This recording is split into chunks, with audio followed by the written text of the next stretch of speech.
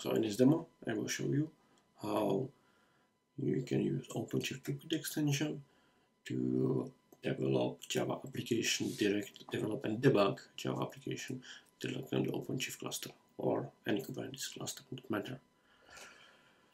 So let me first get the source code for my application. So I'll be using this simple application that I have prepared. So this is going to be, so we can see that this application already have a devfile. So this is a scenario where uh, I may be joining the team that's already, already using the uh, this extension and or we're using any other project that uses the files. So I will clone the repository here open.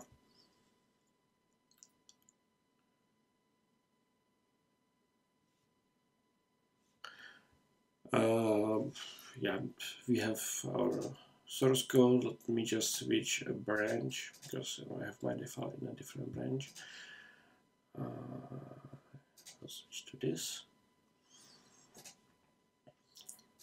So we have our source code. It, this is just like simple application um, I will, we will use for example this hello one point so here I have my application I can edit it, I can run it locally if I would want to but I can also use OpenShift Toolkit here to uh, to develop it directly on the cluster without needing to run the lo application locally.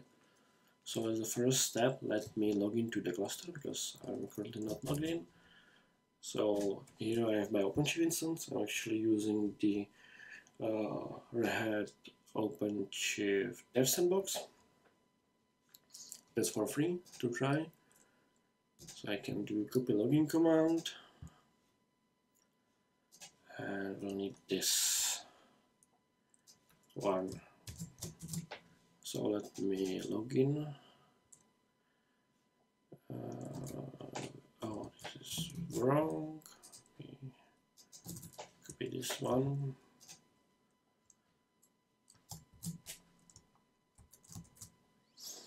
This correct. And we want to use token.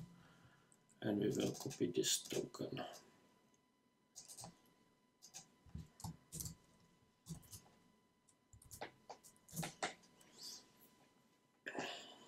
and now in a few seconds. We can see that we are connected to the cluster and here we see the stuff that we are on side on the cluster. There is just one project that's currently empty. And because I've opened the uh, project that already uses the file uh, here I can see one component. This is my local component. It's, it's actually this application so I can do just start dev this is going to use ODO to run uh, the devfile on the cluster. Uh, run run devfile means that it will use the information from the devfile to create the containers. Then it will sync the source code into the container and run and uh, build and run the application so while this is going on, we can look at how the file looks like. So this is the file for the Spring Boot project, simple Spring Boot project. So we can see that it's using this image. And here we have the contain uh, commands that are defined how to run and build the application. So we can see that here is the command that will be used to build application and this will be command to run the application and this will be the command to use to run the application in the debug mode with debug enabled.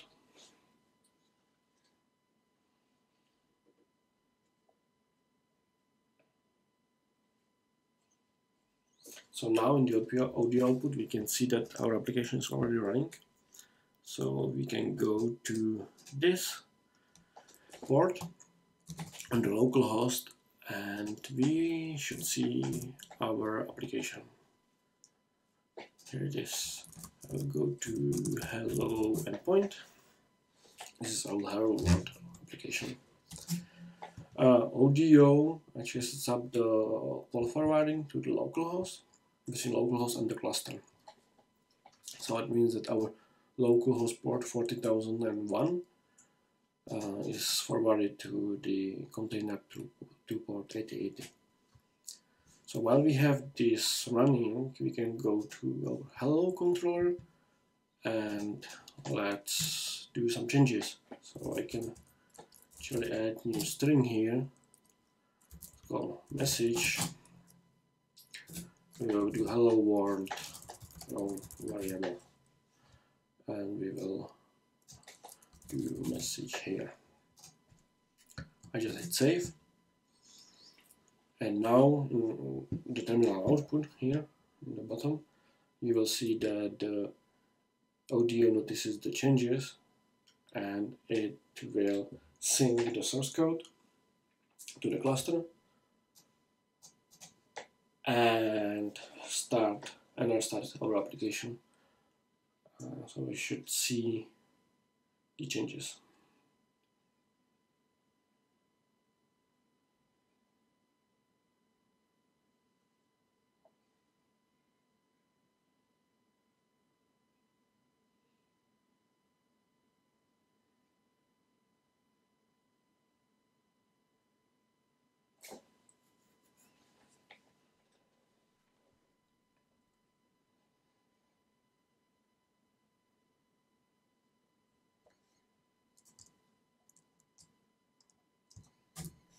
go back, I do